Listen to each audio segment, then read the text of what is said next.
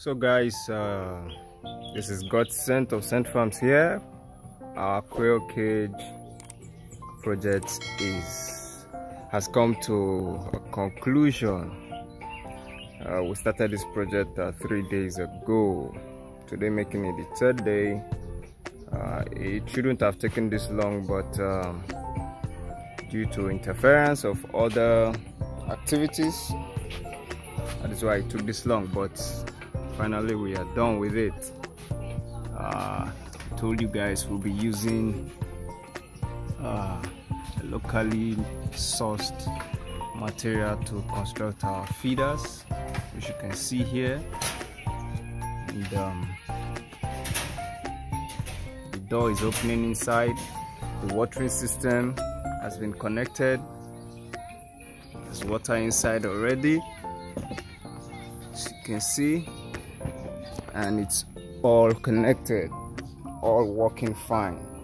You can see there's water in some of them. See all you just need to do is to disturb the the nipple and you have water coming out.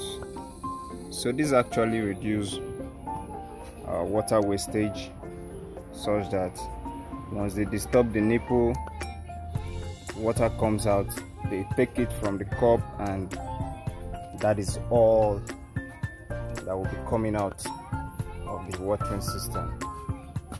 There's an outlet where we can empty the water or flush the pipe.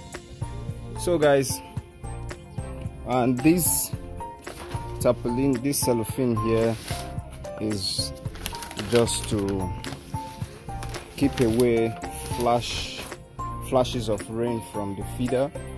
Uh, we ran out of this cellophane but we're going to be getting some more to cover the other parts that is left.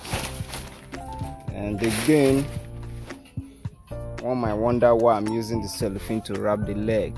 It's just a measure to to rat proof the cage. So apart from the leg leg of the cage there's no other access to this cage as you can see. It's not close to any other place. It's not that close to this cage. So rats will find it very difficult or impossible to to gain access to this cage. The only part they could gain access to was through the legs. That is why i have used a cellophane to to wrap the legs so that they won't be able to get a grip on it to climb upwards.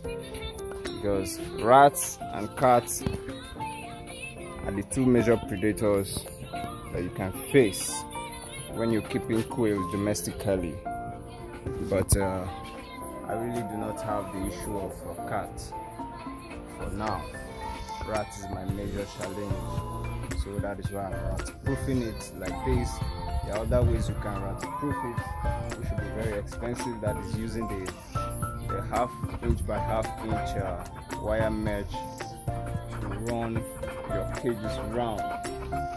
But that's that's gonna be expensive so I just went the inexpensive way to rat proof our cage. So the next thing now is to move our quails inside their new apartment. Uh, we are going to be doing that very soon. You're gonna see it in this video as well. See you soon guys